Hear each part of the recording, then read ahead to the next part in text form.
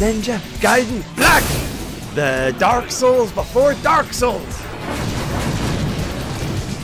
After several weeks and dozens of deaths, skillful gamers finally make it to this area.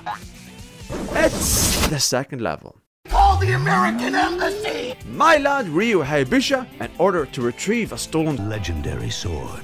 barks on an adventure through towns, cities, crypts, caverns, and flipping blimps. Wanna blow us all to shit, Sherlock?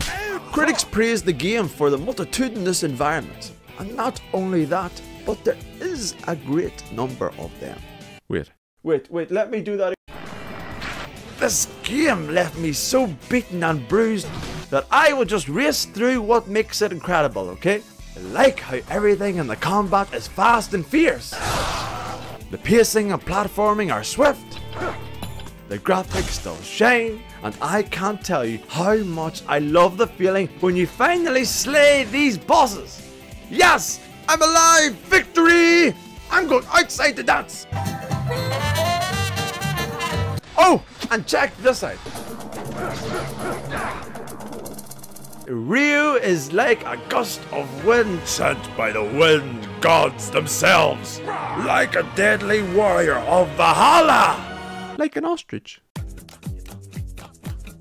I can't deny that the Bayonetta and Dark Souls games have developed upon this gameplay, and maybe some stages made me cry. But you know me, I've never been emotional in my life.